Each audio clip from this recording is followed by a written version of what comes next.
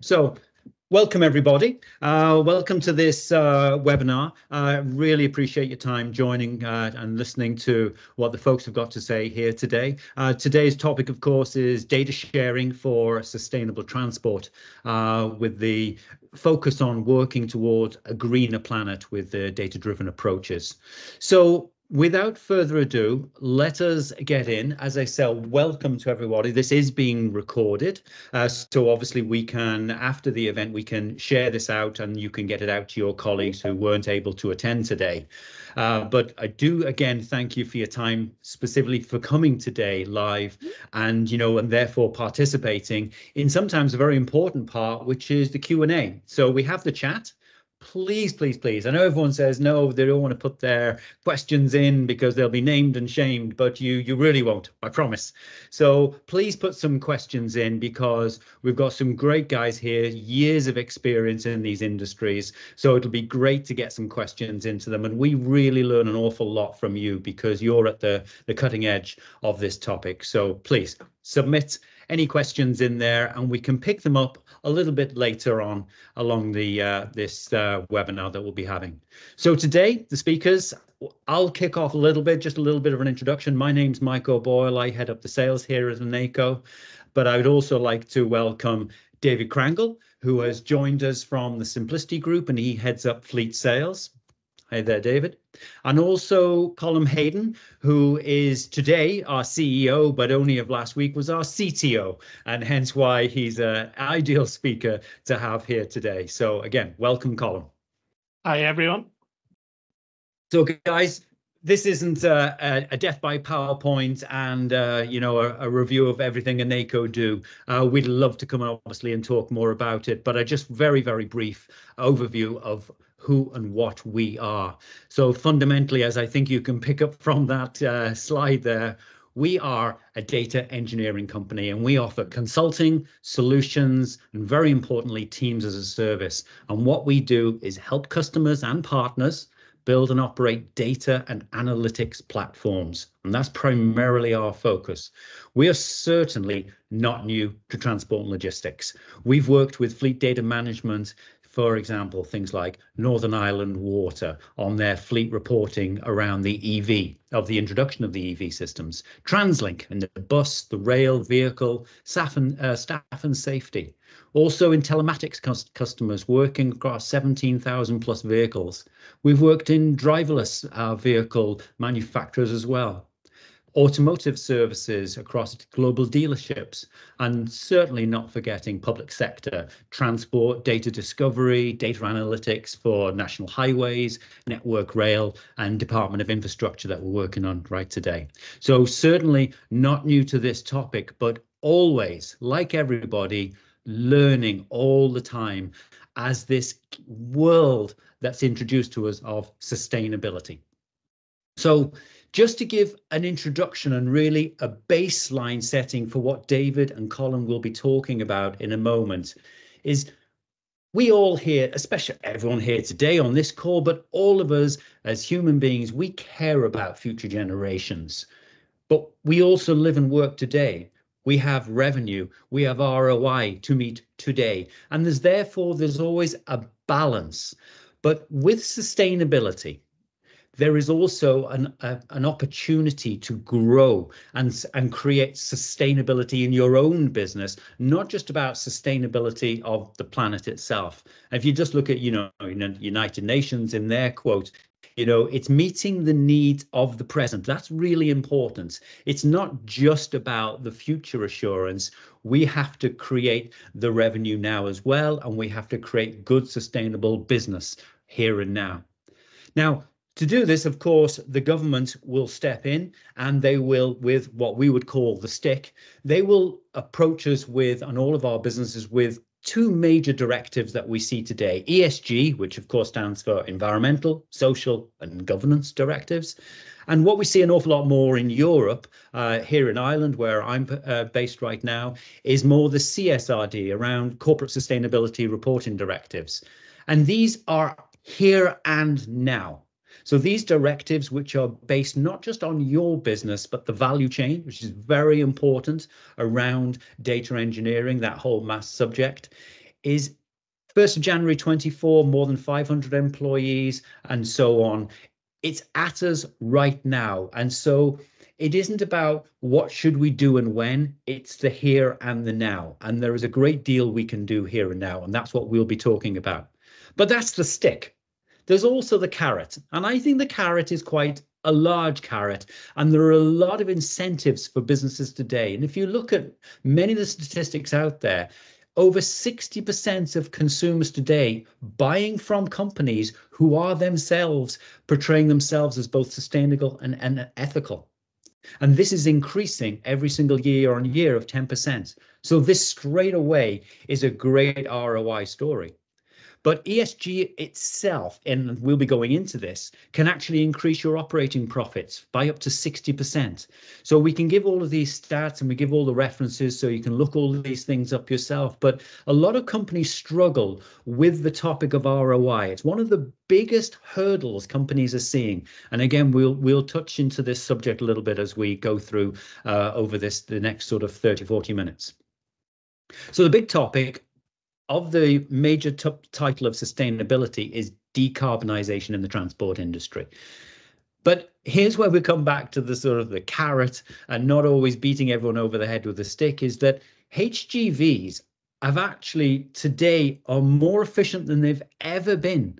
Now, they're also trying to bring in uh, ZETS, which is zero emission transport, but it's not fully viable. And we all know that today. I mean, there's a great project in Sweden where there are dedicated lanes now running the, the length and breadth where vehicles can travel in there and be charging along the way, because that's what it's all about. Can I get to where I'm going to get to? And, and there's all of these sort of uh, blockades, you know, at the moment for the zero emission technology. But it is being adopted, massively adopted by public sector, and we see this an awful lot here in both Northern Ireland and Southern Ireland, and also in the private sector, it's been adopted by the larger companies. But the reality is HGV numbers are increasing and they represent in the carbon footprint 19% of transport emissions, even though they're only 1% of the number of total number of vehicles. So you can see from the graphs, and again, we can send them out and you can expand them up yourself. But what you can see on the top graph you can see the bottom line is showing that the trucks are becoming more and more efficient, economical. There are lots of great works going ahead by all the big truck manufacturers. But the top line is showing that carbon is actually on the rise. So the trend is a net increase in carbon. And therefore, there is a great emphasis in the transport industry, specifically in the HGV industry, to actually hone in on this. And rather than just look at the efficiency of the truck look at all of the end to end so look at the the full providers from the start to the last mile. And that's really what in terms of what can be done today we can actually start looking at these factors not just be looking at the efficiency of the truck itself. So there are real actions you can take today but these real actions are currently being perceived as challenges in many of the industries. And the big one, the, the, the big one that everyone is citing as the main reason for sort of saying, well, what should I do next is transparency. It's getting data that you can see right across the supply chain, whether it's on emissions, which is one data point that David will be talking about in a moment, or is it about employees? Is it HR? Is it the data that comes from the HR records and sharing that across? Is it training that's needed? All of these data points and getting the transparency across your business. And so, what we're looking at is a dovetailing, a sort of a phrase that's used, which is from the top down, the management down to the working staff, but also across all of the businesses. And this cross linking is really, really important to start getting the transparency across there. But also strategy itself. Are we actually creating strategies, not just tactics? but really creating a strategy that's long term with objectives that are not too modest, that actually can really push the boundaries so that you get buy in from all the different groups in the company.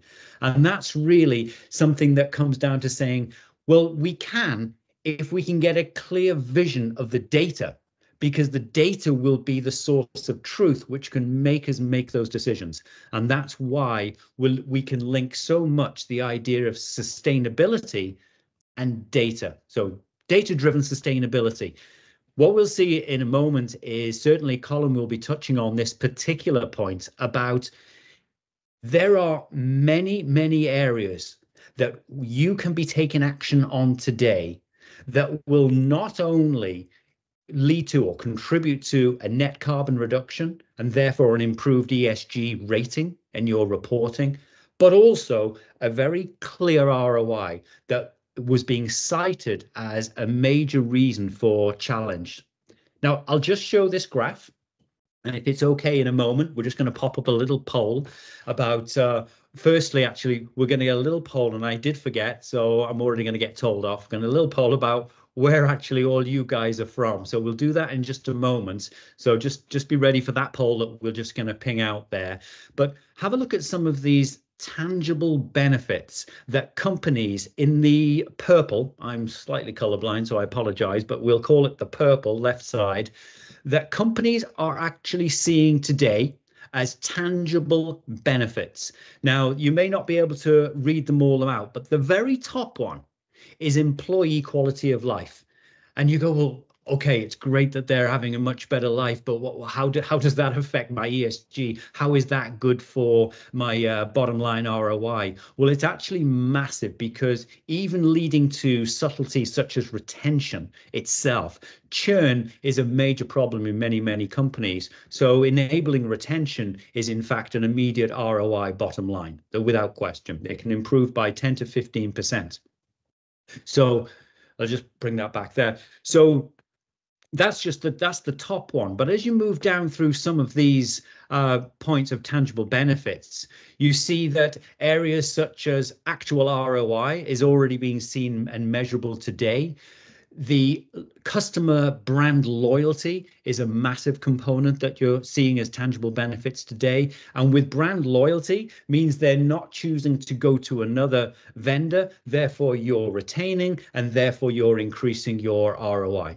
So there are many, many areas already that companies today that have bought into this are seeing as benefits, but also the middle bound is the same companies who are seeing it in the next one to three years? And you can see this is a large portion of companies today that are seeing these advantages of buying into ESG, not only because of the stick, but because clear, carrot, tangible benefits. So let me take a pause.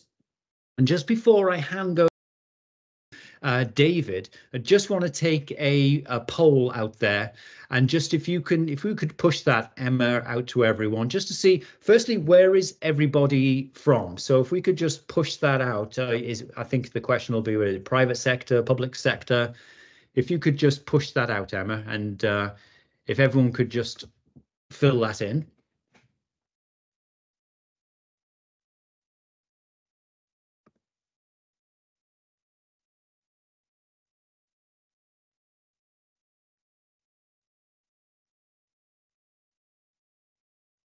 Okay. Now, is that poll is that poll going out, uh, Colin? If I could just ask you, no. Um, I'm not seeing it. That's fine. So what was Oh, it? We'll, oh, we'll I've move on just now.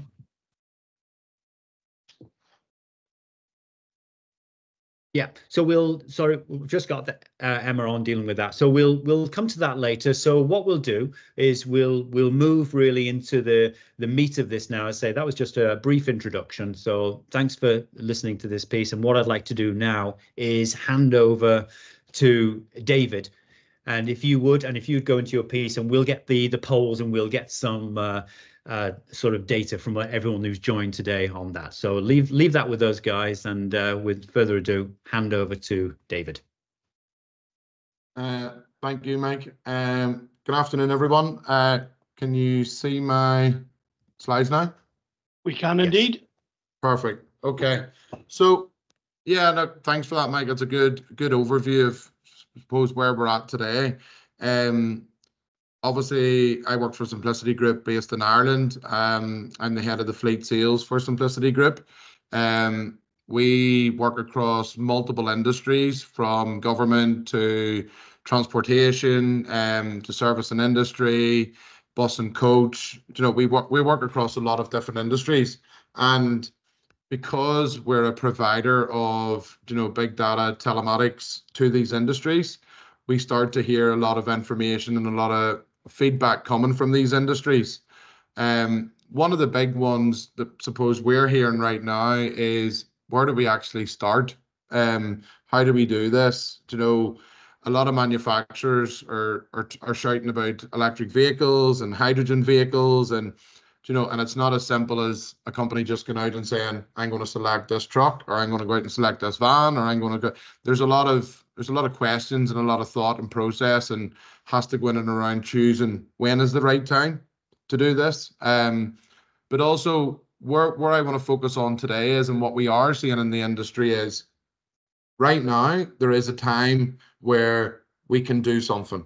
Okay, so while we wait on the manufacturers deciding, to know, if they're going to go down the road of the EV or the hydrogen vehicles and bringing down the cost in the future, um, we we can do things right now. Okay, so what I want to do today is just sort of demonstrate from customer experiences and, and what we're doing and, and how people actually are pulling this information and sort of give an insight to what we've been seeing for a lot of years, but it seems now with you know the introduction of the sustainability and the CO2, people are actually really starting to look at this information a lot differently on the systems that are there. So what is the emissions of scopes for emissions for, for transport at the minute? You have three different scopes. And uh, where we typically see in the transport and logistics is most people will be into the scope three which is the non-owned vehicles working with the likes of your pharmaceuticals, working with the like of you know your your large chains and the supermarkets as well, who are now not just having big demands on the transport and logistics sectors based on making sure that deliveries are on time and KPIs on ETAs and making sure that deadlines are being met, but also now providing how is your vehicles doing this? You know, what is the CO2 you're producing based on doing these deliveries for us. So what we are seeing is a change in how people are now switching in how they're starting to think about the data and use the data that's coming from the systems. The approach based on the GHG protocol standards that that we see is is the approach based on the fuel-based method. Um, so what that means is we connect with the fuel consumption of the vehicles and then we're able to work out the CO2 based on vehicle type, based on you know whether it's petrol, diesel, electric, hybrid, CNG, LNG. You know, there's so many different variables now, and there's more to come. So what these what the systems are now doing is actually helping to sort of normalize and take the fear away of it's not actually that hard to get to the information today. Um, the information's there. So most of the customers that we have right now just want to be able to report on what are the actual vehicles doing, you know, what are they providing in CO2. So we do have standard reports there where we have a fuel report, OptiDrive reports, driver training. Now, how do I start the transition with accurate data? This is the key to the whole, you know, again, Mike alluded to it there in his opening comments where, you know, a lot of people have systems in place that are in the vehicles, but actually how credible and how accurate is the data that's coming out of these vehicles through these systems to help in the future make the decisions and get the right information to the right hands in the time that's needed to for the finance they maybe need to do a report every 12 months so they need 12 months backwards of CO2 data from the vehicles. If you have the wrong technology in right now you're probably doing that via fuel cards relying on the drivers odometers trying to work all that out. So what we're trying to do here is paint the picture of it's not a lot of fear around getting this information because a lot of it is already there provided by the vehicles. It's just making sure we're connected to the right vehicles with the right technology and the right information to help you going forward. So one one of our customers in the transport and logistics sector that we would deal with very closely is the TST group based in Ballymena. Um, so I just wanted to talk into here because one of the big things they when they first spoke to us was they were very customer centric. You can see that, you know, they do uh, very customer centric and they wanted to make sure that the ETAs, the customer satisfaction piece and the compliance alongside of that was the first thing that they focused on. So for example, they had made they're, they're in a period of growth at the minute. They made multiple acquisitions. They have taken over companies who had multiple different platforms. One platform gave them one set of information, the other one wasn't even given the same level of information. So what that meant for them going forward in the future was it was hard to make change because they were maybe looking at one platform and it said that a driver behavior score was, you know, based on, you know, a certain parameter, and then the other one was saying, well, I don't have that information, so I can't give you that score, or, you know, it done it in a different calculation, or they were even using the manufacturing vehicles as well, which all calculate very differently. So the first approach here was to make sure that they got all the data coming in via one source. Um, and then what from there, they wanted to make sure that they were able to use that data to run multiple parts of the business, productivity, the health and safety, the compliance, to know the efficiency, um, the sustainability message, and then also making sure that it was future proofed to do what they wanted in the future in line with the growth of the business. So I have links in here anyway. There's a blog there that we, we've done with them.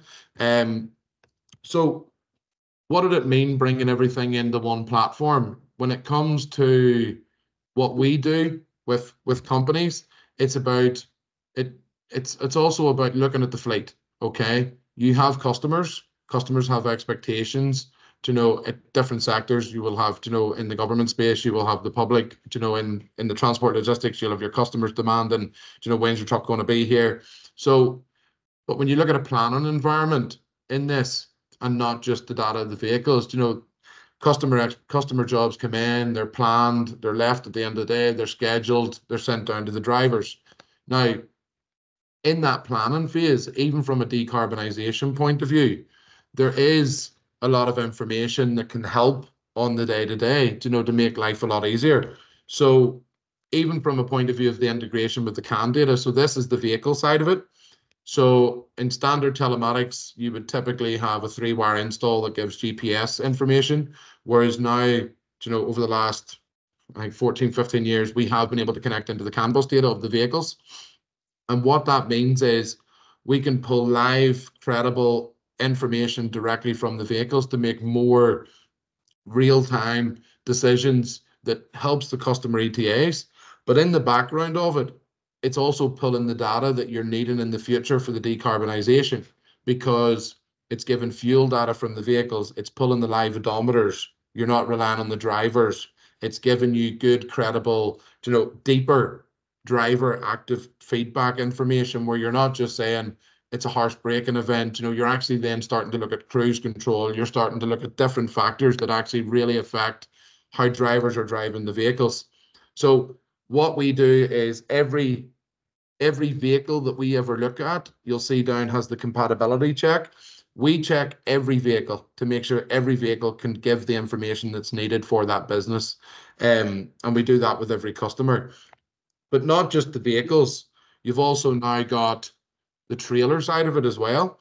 So a lot of people in the transport and logistics, when you're planning, will be saying, you know, what is the vehicle? We can we allocate the vehicle, allocate, sorry, allocate the trailer, but also allocate a driver. So they're the three things that are allocated to get that job done. So when you're thinking from a decarbonisation side of it, and you're getting the fuel data coming from the vehicle, the live driving hours, the mileage, you know, the big win in there is actually do the jobs in less miles you know, how can we plan better? How can we make the routes more efficient? In this day and age, you know, truck specific route mapping. So instead of just having a one fits all telematics mapping system, you know, you actually have in the planning software that you have truck specific where it takes into consideration the height, the width, the length of the vehicles, the weight of the vehicles. So when planners are actually looking at these systems, they can say, I want to send this vehicle from A to B. So it's giving you exact mileage, it's taken into consideration low bridges, it's taken into consideration loads of things that planners have to think about every day. Now, what these systems are doing is actually saying, well, here's a more efficient way to do it. And in doing that, you're starting the decarbonisation journey because you're planning better. The next part with the trailers here is also then looking at there's a new legislation that's coming in this year, I think, for the brake testing, where by end of June of this year, they're going to start now that it's you have to start doing the, the brake testing by uh, a laden. So you have to do it with a 65% weight on the trailers. What that means is four times a year, these trailers have to be taken off the road with the truck, fully loaded, driven to a test center, taken away from jobs, adding more miles, adding more fuel to the fleet. Whereas now, these new systems, what we can actually do is we can connect into these systems and we can actually provide you with the critical data where I have customers now that are moving across to the trailer management side of it and they're seeing the live loads. So empty, no empty loads, you know, trying to be full as much as possible, making the most out of the journeys. From a point of view of, you know, the maintenance side of it, they're now getting live maintenance fault codes so they can make decisions. Whereas before, it's more pre, it's more sort of instead of being reactive, it's more proactive. That the garages know these these vehicles are coming back every 12 weeks. They're able to see the live data coming from the vehicles. You know, they necessarily don't need to take it off the road because they can see the fault codes from the vehicles. Um, from a point of view of the brake testing, what that now means is with these platforms, you only have to take the vehicle off the road once a year. So if you think about, you know, four times a year, you're taking a truck and a trailer and a vehicle off the road to do a brake test. Now you only have to do that once. So it's 25% of what you were currently, what you were doing previously. You know, there's a cost of the test, there's the cost of getting the vehicle, the driver, and the load to the actual um, test centers. But what we're also now seeing is that a lot of these test centers were being passed because you could go in unloaded. Now that they're actually bringing in that the trailers have to be loaded during the test, a lot of trailers are going to start failing. So then they're going to have to go back for retests. And we have done calculations in this with customers. And actually, you know, in the reduction of the mileage, as Mike said again at the at the start of this, it's yes, we can look at decarbonisation and we can say we can help reduce the mileage, improve the drivers, reduce the fuel, the CO2. So, you know, these are the quick wins that are here today that we can say be better optimized. You know, don't have to take the vehicles and the trailers off the road as much as what you were previously doing. Keep them on the road. You know, the businesses are then generating more revenue while also saving cost. And we had an example, we're actually at a conference now with Webfleet, and we had an example yesterday where a fake a fleet of 500 trailers actually figured it out and looked at the cost side of it. And what they were saying was based on putting the solutions in that actually read the data from the trailers, has saved them a thousand pound per vehicle. Now, convert that into fuel cost, CO2 savings, decarbonisation, you're taking a lot of tonnage off, off the fleet there straight away. So yes, it's important to report it, but it's also important important to show the improvements over time. So 5% per year. That's the goal. And how do we get there? So trailer load and utilization, again, you know, you've got your trailer loads, you've all that information. The big thing here for when we looked at TST and they brought everything into one platform, um, for for their company, the, the number one thing was actually to start profiling the drivers. And the reason they wanted to profile the drivers was because number one, it gives them more accuracy for the customer ETAs, the better relationships. Number two, you know, it actually helps them put incentives in place to keep their drivers. So actually their drivers are now being paid better because they're drive performing better. They're also working towards the end goal of the decarbonisation message of the business, and they're aligned with the business now on the goal of we need to we need to start this decarbonization decarbonization journey. They can't go. They could start going and buying, you know, trucks from the manufacturers, but you know, we know a diesel truck today could be anywhere between 110 and 150,000. You know, an electric truck, you're up to 250, 300,000, and I would hate to see what a hydrogen truck's going to cost, but um, in this day and age, right now, today, the data tells us it's better to start with where you're at today and what you have and start making the changes with the business, with the internal processes, with you know the drivers, with the management, and really improve on that. If you think about a driver out on any given day, what telematics can now do, you know, it, it can inform your customers you can take jobs in from customers. You can send that down to the drivers. You can provide real-time ETA. You can send notifications to the customers to say the vehicles will be there at 10 o'clock, you know, which is actually realistic and it's not going to be rerouting the driver in the background because it's it's actually helping it's, it's truck specific, it's vehicle specific software. So what that does is it keeps the mileage down. It keeps, you know, it sorry, it keeps the mileage down on the vehicles. It keeps the mileage down for the customers, and then they're getting their CO2 reports. But the big thing here is when the drivers are being profiled, that actually, you know, there's tools there now as well, and in them tools, the systems now talk to the drivers. You know, this happens in real time. Active driver feedback.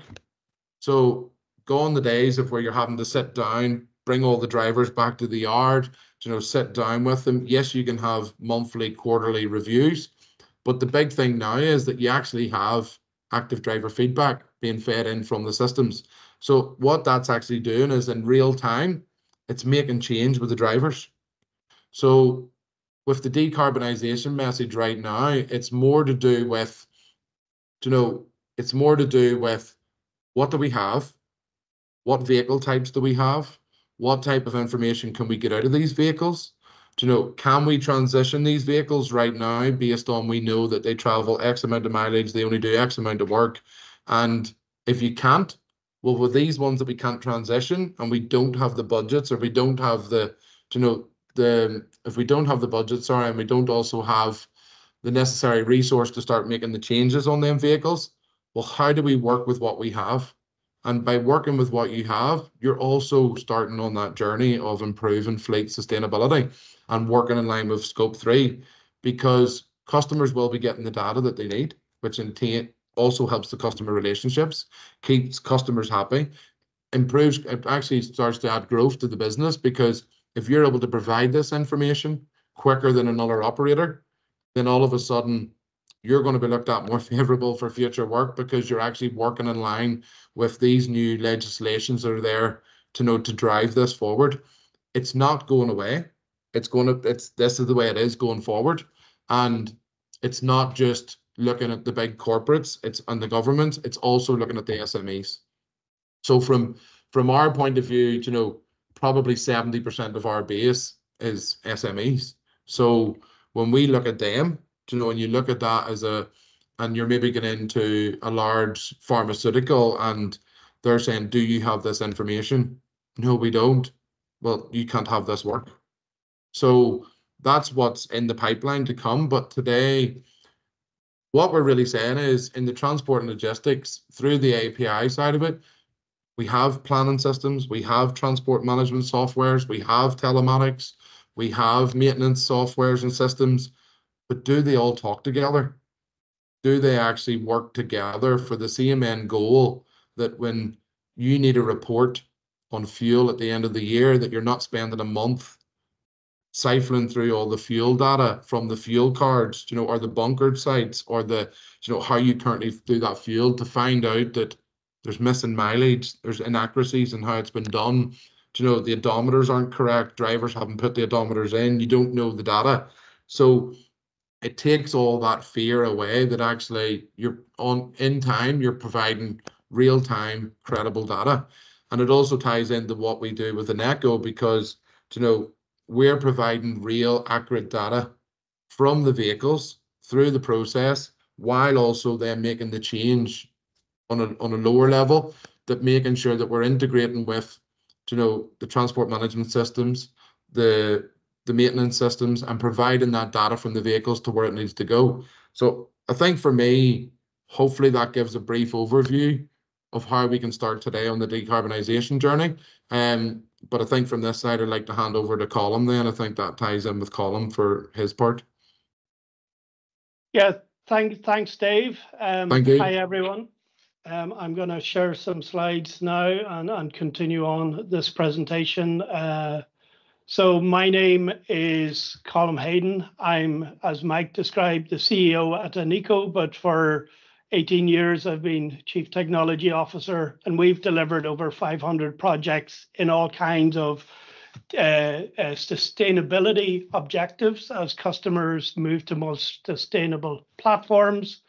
Um, but in particular, in the transport industry, we're speaking today with vehicle manufacturers, telematics companies, and public and private sector uh, transport operators.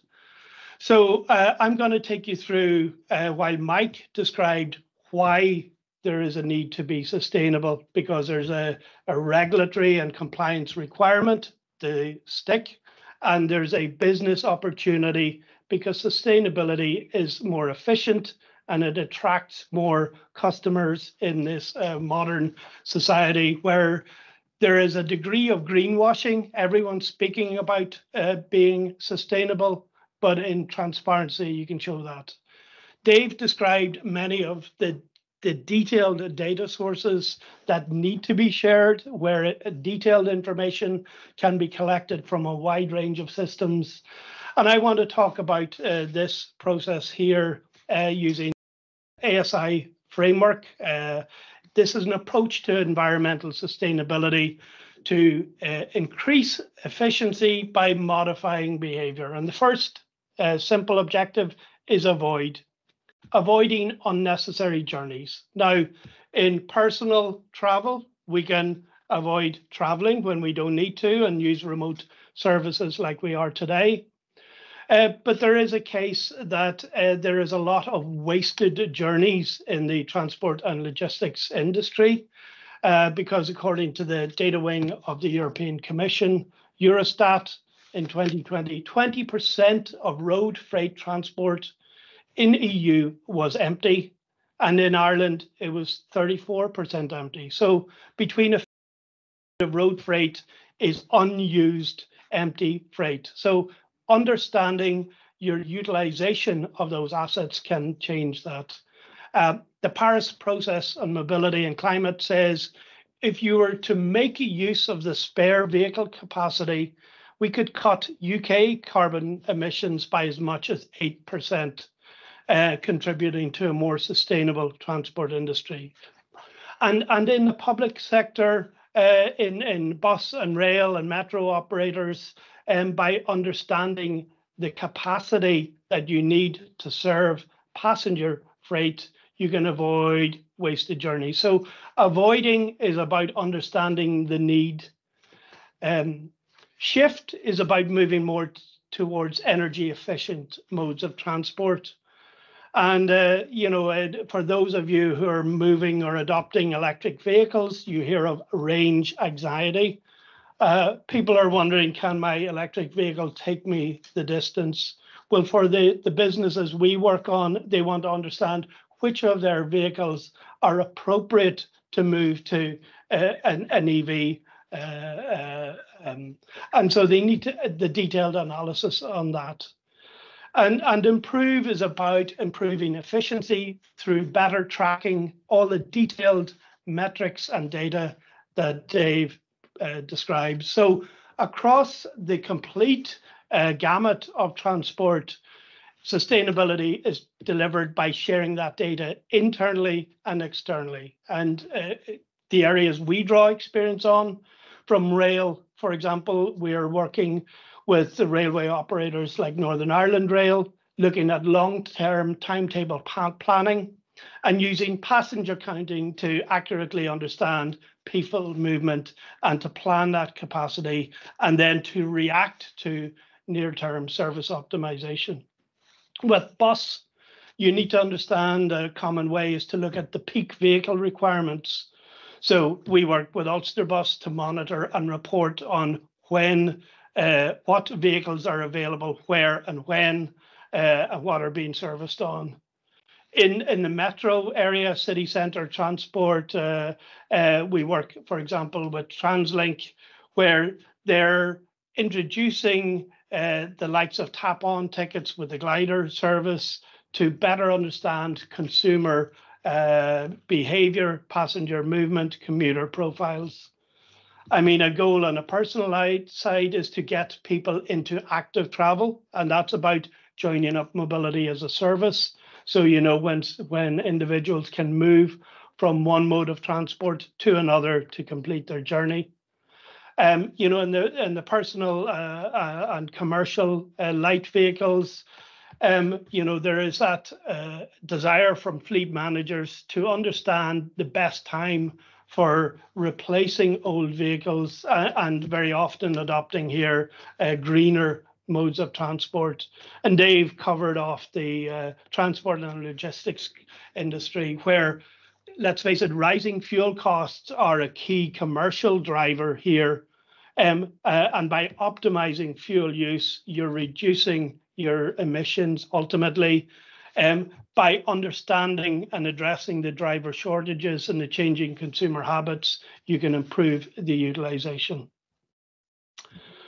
So uh, when we look at data sharing, I consider it from three areas. There's the external data sources, as Dave described, fuel supplier data, vehicle tracking platforms, uh, accident and incident reports, there's internal data sharing. So you're gathering information on your servicing, your MOTs, repairs, PSVs. You have asset registers of your vehicles of types. You have departmental assignment, you know, who's using what vehicle in what areas at what time. And, and departmental budgets, this is a financially driven as much as an environmentally driven discussion. And on the public safe facing side, of course, the public sector, open data, making that available, supplying your other partners, compliance with CSRD, and I've kind of shown an infographic on, on a, you know, infographics for ESG reporting to your consumers and your customers because they value seeing that information and that needs to be gathered over time, collated um, for CSRD. It needs to be auditable you know, so uh, the same way that businesses have learnt to gather financial information and make sure it's traceable, the same needs to happen um, for CSRD data.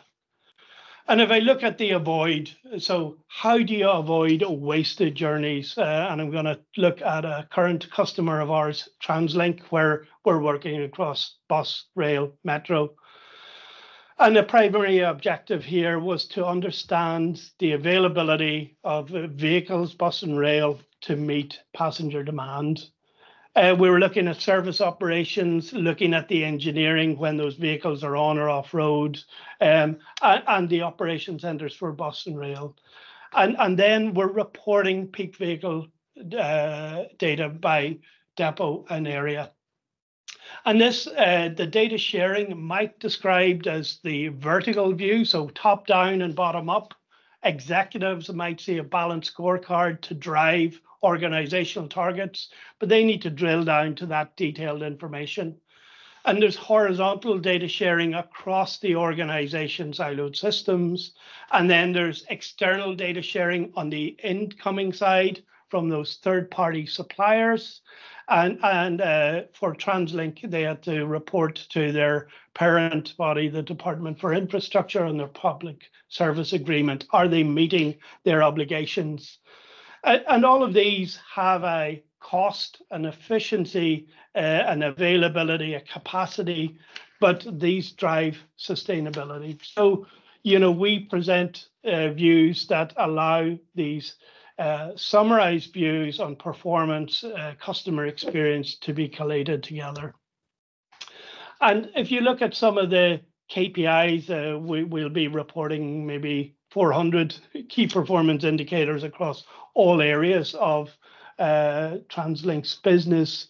But they're looking at that peak vehicle requirement, uh, and this will be broke, broken down by the depot area by day. Are there six buses in this depot on this day to meet the expected demand?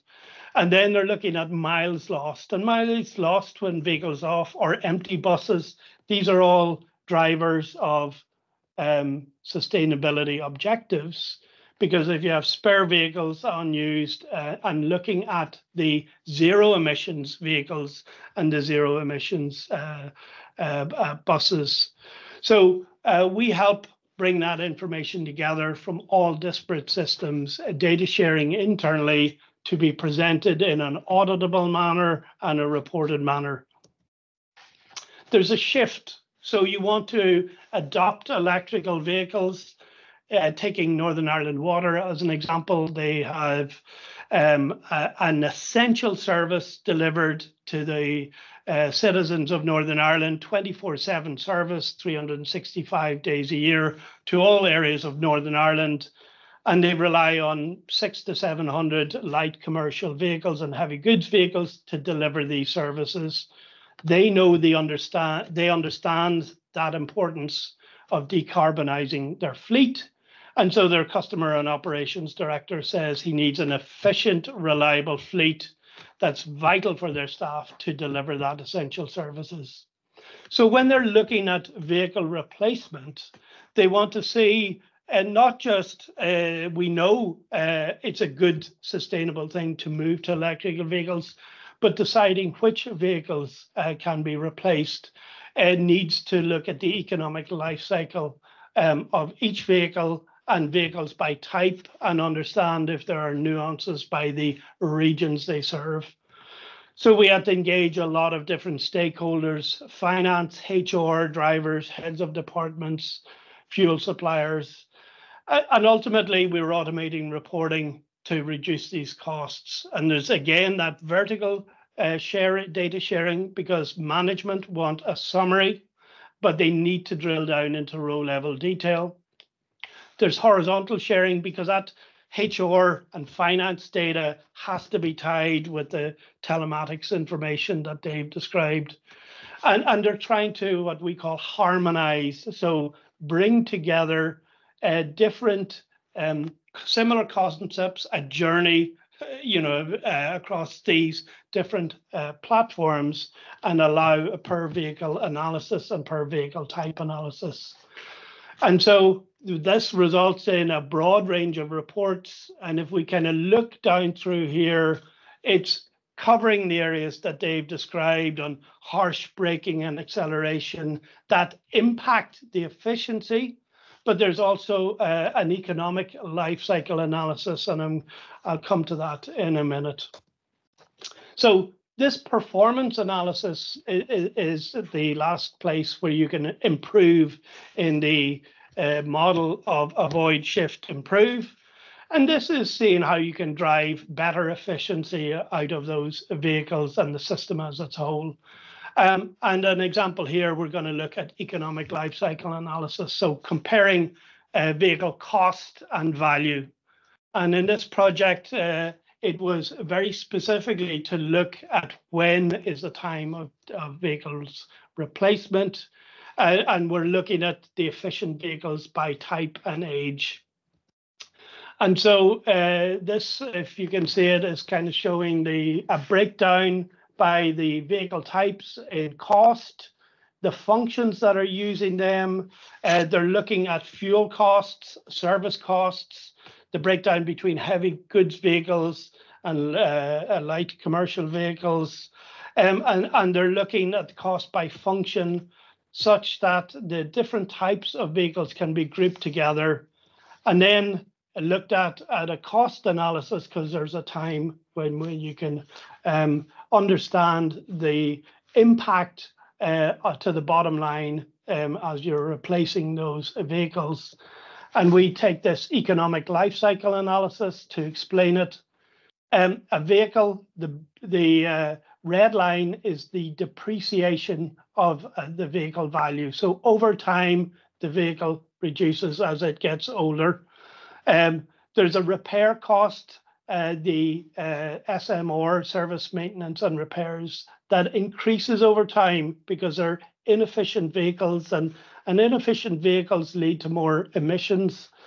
And so you combine that uh, to get a complete economic life cycle analysis, and you can see the ratio repair to value. So for uh, this particular customer, they would have formally decided the best time to repair or the, the in the absence of data uh, sharing, um, the time to replace that vehicle was at, at, an annual interval. So five years or seven years for this vehicle type. But now a more detailed view informs the business function, the financial function that can make that business case because this is a commercial case for moving to sustainable transport as well as an environmental one. And, you know, um, to a, a, big point that many of you uh, will ask, and this seems complex, and everyone asks us, where do you start? And it starts with understanding the quality of the information that's available. So looking at a discovery against those third-party systems, those telematics and fuel and tachographs, what information's available, how accurate is it? Uh, Dave described the real-time nature or near real-time nature by the time you've pulled it into your uh, common platforms. And then there are business functions, you know, the financial reporting that has its own cycle of freshness.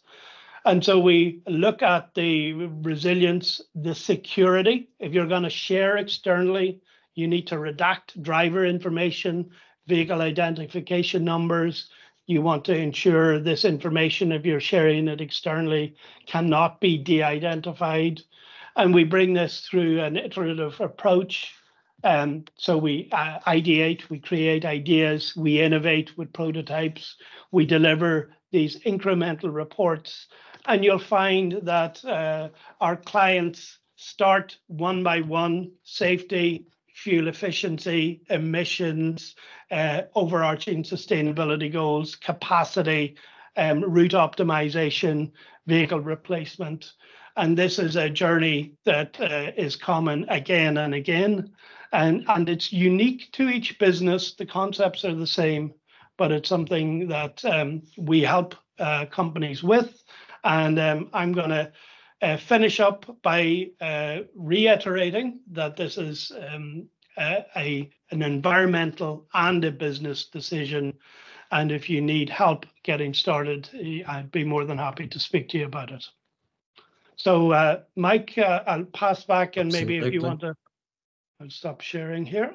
Yeah, absolutely. Thank you both, uh, David uh, and Colin. Thank you very much for that. And look, guys, also in the background, I know you've been answering the uh, some of the questions we've been putting out to you there. So I really appreciate that too. It's it's good to learn as well. You've been, uh, Colin, you've been addressing public sector an awful lot, and it it so happens there's an awful lot of public sector people joining today. I want to just we got some questions, and just before the questions, I just want to come back and wrap this really up a little bit because I live in a world of threes. It, I find it very convenient, maybe for myself, is that there's really three things that I'd like you, if you all could take away today from this. Certainly, something I've been taking away from this, from listening to David and Colin, is it's actionable today. You don't have to wait for what can I be doing.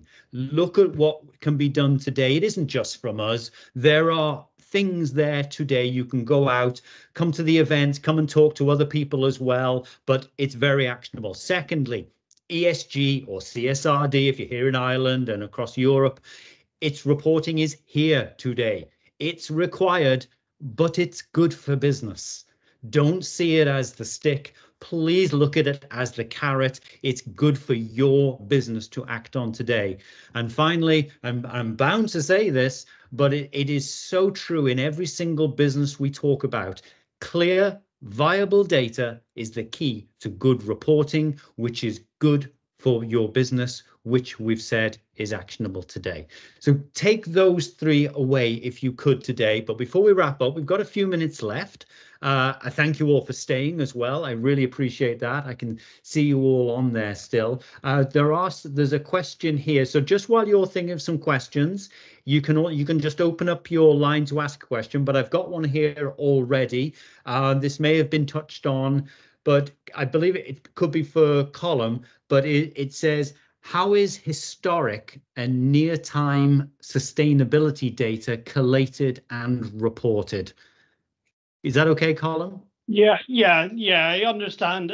Actually, it's a it's a very good question because um, Dave spoke of the uh, surge of telemetry that's available to provide uh, that uh, real time and near real time data the mobile apps, driver apps are, are adding into uh, a response that's uh, immediate uh, and faster than it has been on collecting information from drivers. And, and internal business systems get updated. So, so all information has a degree of freshness and some of it is measured at the time uh, and uh, in the absence of a digital world, this was historic reporting. So we're shifting more. Uh, and, and very often we have uh, degrees of management uh, in the team. So somebody is looking at information on a daily basis for an operational purpose. You know, they're dispatching in response to um, a sudden, uh, you know, snowstorm, uh, uh, leaves on the track, um, uh, a bus strike. That's reactionary planning with information. Um, then there's those that are looking at the efficiency on a weekly basis at a management level. And sustainability goals are set in long-term strategies, your net zero objective, um, you know, your annual reports. Uh, and, and so the information that's collected from different systems needs to be recorded in time series mode and allow different um, different data consumers to see that at different times because when you publish your ESG report, a very slick end of year summary, you know, that needs to be trusted, verifiable, auditable. Um, and so you, you're, you're viewing that all throughout the year in order to optimize it. Um, so hopefully that answers the question for whomever asked it. No, thank, thank, thanks very much. And actually, there was another question, but actually, Emma's very kindly transferred it into a question back to everyone, which was, what is the biggest challenge your organisation faces? And that, so that that was the original question, but it's nice to hear from everybody as well. Something for everyone to think about. Lack of data skills being the main answer back, uh, which again, obviously, it, it, does resonate into what we've been talking about today, but uh, also trust in data quality something that we heard an, an awful lot about actually at the conference we were just at last week at AWS. Uh, it's very, very interesting to hear that one as well. So, so that was very good. I'd like to probably, always in the interest of keeping on time with these things, I would probably like to, we've got just probably about 90 seconds left. So whilst, again, you're still there, everybody. So I just wanted to say that we do have our next webinar, which is in May. It'll be give or take one month from today. And it's going to be very interestingly in how does AI work in the TNL market? And there's a lot of moving happening in this. Are there pros and are there cons to how AI is going to assist going forward? So that's going to be a great one. So please uh, come and join us for that. We'll be at our next event. I know, David, you're already at an event today. So uh, you're already busy uh, as it happens. But our next event is next week we'll be at ProcureX. And again, knowing that there's a whole load of public sector on the call today, we may well get the chance to talk to you in person, which would be fantastic. So please stop by our booth in the SME section at uh, RDS next week, uh, Tuesday, I believe we'll be there all day. And then finally, what's next is I'd love to say, book a review with us. Come and talk to us. Come and talk to David at Simplicity Group. We're here for a conversation. It isn't all about selling you things. It's actually about learning, us learning from you. So please book a review or come and talk to David and let's, you know, let's take what you need to the next stage. But otherwise, we've reached the top of the hour. David, Colm, uh, Emma, and everyone that's come and joined us today, thank you all very much. And as I say, the recording will be available to share with your colleagues straight afterwards. So